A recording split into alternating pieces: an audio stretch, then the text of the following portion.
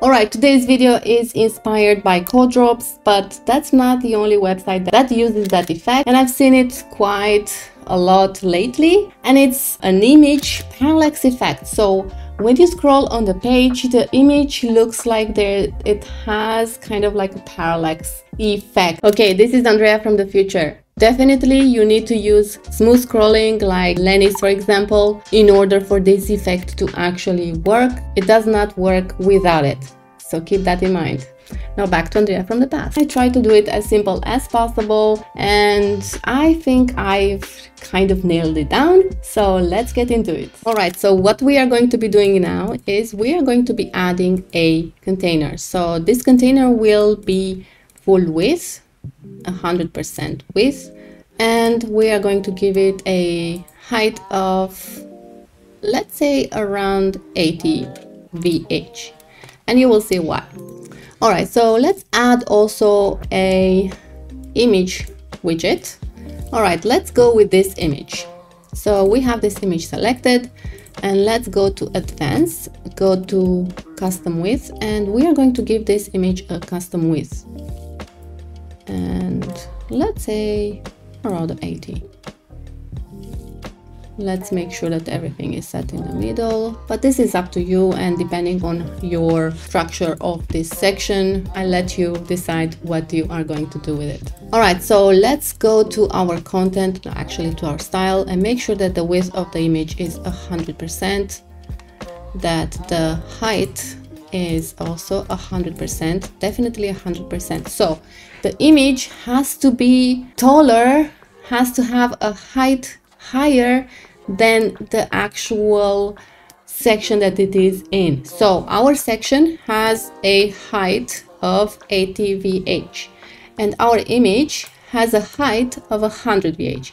You can go even lower with the height of the section. Let's go to 65 and the parallax effect will be a little bit more intense, let's say. If you want, keep it like this or Actually, I'm going to go all the way to 80 because I want it a little bit more subtle. All right, I'm going to go again to the image and actually and actually set the width of the image to be 60 hmm, let's say 55 again this doesn't matter. It's just what I prefer in this case. All right, let's set this to cover and of course leave it at center center. And that's about it.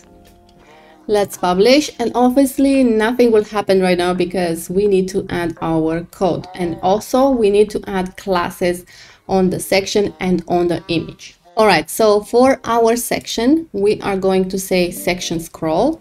So make sure that you add this class in the section that you have the image in and we're going to go to the image now. Let's go to advanced. And you will add this class here. Obviously you can name these classes whatever you want but make sure that you add these classes in the code as well. All right i will publish this. And make sure that you add an html tag to your page. This should be done I mean, it doesn't matter which in what order you do it, but make sure that you add an HTML tag to your page and we are going to be adding our GSAP code in here. So excuse me, let me delete this. That was something that I was trying to do. All right, so as you can see, we have the two classes that we have in the section and in on the image, we have them here. So you will have to add them in this order. So have the first class, uh, the section class and the uh, second class in the code should be the class for the image. And that's about it. You don't have to do anything else in here. We don't need any CSS at this point. The only thing that we want to do is basically go to the image and make sure that you set the position from default, you set it to absolute. So I turned absolute on and also make sure that the offset horizontal and vertical is set to pixels.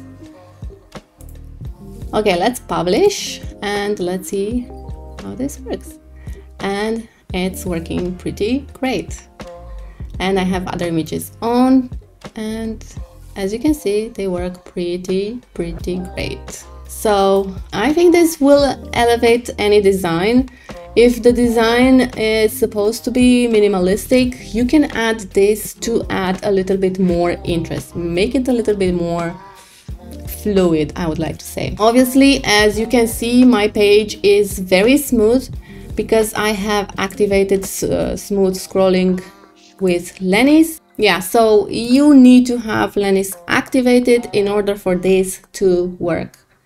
So it's kind of a trade-off, but then again, if you want to make a website interesting, there are things that you have to add to it to make it interesting. So if you'd like to see what else you can build with Elementor, watch this playlist here. And if you have gotten any value out of this video, please consider subscribing, liking, and sharing this video, and I'll see you next time. Bye.